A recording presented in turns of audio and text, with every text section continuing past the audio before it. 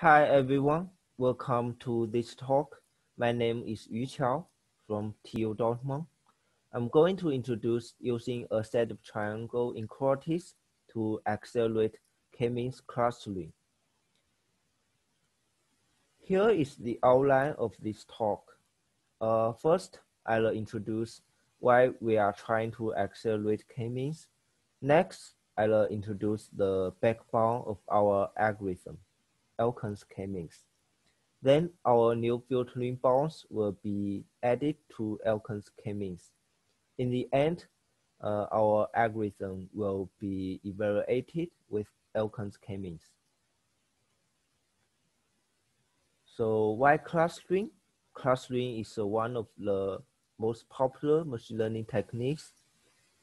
Its purpose is to find uh, groupings over data points. So in theory, data points, they are in the same group should have the similar properties. For example, we can use clustering to group documents into different categories. And k-means is a widely used clustering method. It aims to partition endpoints with d dimensions into k clusters. But it often requires a large amount of time on distance calculations. So one of ways to accelerate exact k-means clustering is to keep bounds to reduce calculations. And here is a very simple example of k-means clustering. Given a set of data points, we initialize k-centers like C1 and C2. And then uh, each point will calculate distances to each center, like uh, x to C1 and x to C2. Finally, uh, x will be assigned to its closest center, uh, C1, and cluster C1 will be built like this. And after all points are assigned to their closest centers, mean centers will be recalculated again, like uh, C1 is updated to C1 prime and C2 to C2 prime. Uh, repeat these procedures until convergence. So this is original Lloyd k-means. It requires a large amount of time on distance calculations from each point to each center. To reduce these calculations, Elkan's k-means optimized k-means using triangle inequalities. As this example, we, we first calculate the distances from x to c1 and x to c2. So xc1 as this example is closer and x is assigned to c1. At the next iteration, after recalculating the means of centers, C1 will be moved to C1 prime and C2 moved to C2 prime. At standard k-means, with the calculate distances from uh, x to C1 prime and x to C2 prime. But in Elkan's k-means, at the previous iterations, uh, it has calculated uh, xc1 and xc2. So by storing these two distances and calculate the distance C1 to C, C1 prime and C2 to C2 prime. To build two triangles, that is uh, XC1, C1 prime, XC2, C2 prime. So uh, use XC1 plus C1, C1 prime as the upper bound of xc1 prime and xc2 minus c2 to c2 prime as the lower bound of xc2 prime. If the lower bound is larger than the upper bound, we know that xc2 prime is larger than xc1 prime. So by these bounds, we don't need to really calculate distances xc1 prime xc2 prime. This bounds requires space complexity big O and K, but it avoids many distance calculations like uh, XC1 prime and XC2 prime. Here is the overview of Elkan's k-means. After initialization, Elkan's k-means firstly gets into filtering steps with triangle inequalities. If points are filtered by filtering step, the bounds will be updated according to center shift.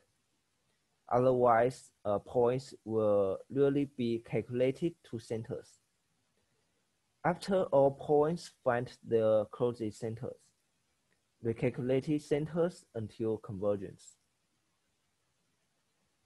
And in our structure, we added additional filtering bounds into Elkan's k-means, like filtering for clustering of points, filtering lower bounds. In our contributions, by these filtering bounds, uh, two optimized algorithms are built, filtering-based Elkan, called it uh, FB Elkan, and memory optimized uh, Elkan, MO Elkan. In the following slides, I will introduce them one by one. In the filtering for clusters of points, for example, in cluster C1, after calculating all points to C1. In Elkan's k-means, it will store every distance from uh, each point to center C1.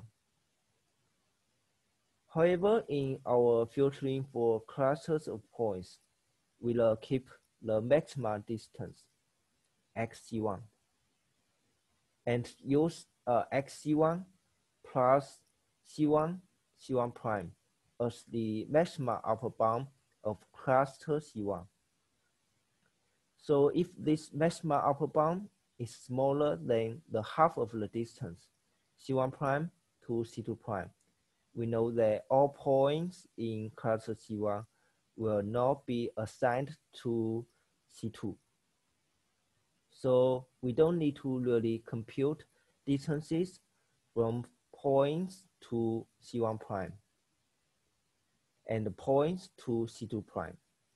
By this bound, it keeps additional space complexity, big OK, to avoid additional calculations and also reduces memory consumptions by combining our following new lower bounds. We also provide a new lower bound which is effective if the shift of the center is significant. The lower bound of Elkan might be inefficient. For example, in this case, the shift of C2, uh, C2 prime is very large. Lower bound of Elkan is to use uh, XC2 minus uh, C2, C2 prime. And this value might be very small and negative. However, in our new lower bound, we alleviate this problem by connecting C1 to C2 prime and use C1 C2 prime minus XC1 as the additional lower bound of XC2 prime. Combining above introduced filtering methods, we create our filtering-based Elkan k-means. FB Elkan. The additional overhead of this FB Elkan is to connecting C1 Uh, and C2 prime. And it requires overall big O K squared D complexity, but it can reduce more distance calculations than Elkan, so achieve better speed ups in high dimensional datasets. Another shortcoming of Elkan is that it keeps too many bounds for each point. For example, uh, Elkan's k-means stores lower bounds from uh, each point to each center. The space complexity is big O n k. So our another new lower bound can improve this big ONK to a big ON by storing another variable distance instead. At this example, we connect uh, C1 to C2 and use C1, C2 minus XC1 as the lower bound of XC2. So we don't need to store uh, XC2 in this case and use C1, C2 minus XC1 and minus C2, C2 prime as the lower bound of XC2 prime. So we replace uh, Elkan's lower bound by computing distance C1, C2. Including these three bounds, uh, we create memory optimized Elkan, which can store less lower bounds to achieve less memory accuracies.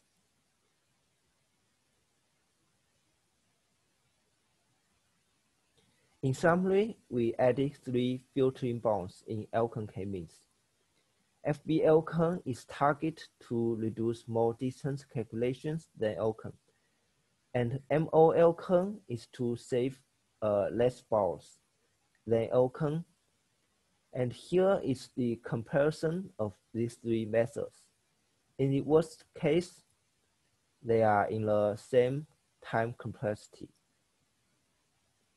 However, FB Elkan, uh, can avoid more distance calculations in three of them. So in fact, the average time complexity F of can uh, is less than others.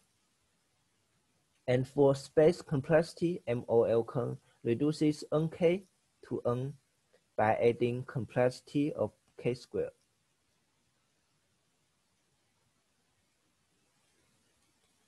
At the evaluation, I will first introduce our setup. We use 11 real-world datasets from different repositories. We tested them over 50 times for each run. They are in the same initializations with K-means++.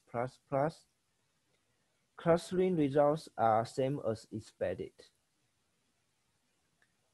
Um, we focus on running time of on high and low dimensional datasets, and also tested them on large datasets with n equal to uh, 5 millions and uh, 11 millions.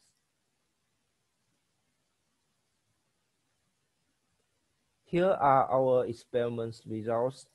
Values in MO Elkan and the FBL columns means the speed are normalized to Elkan k-means.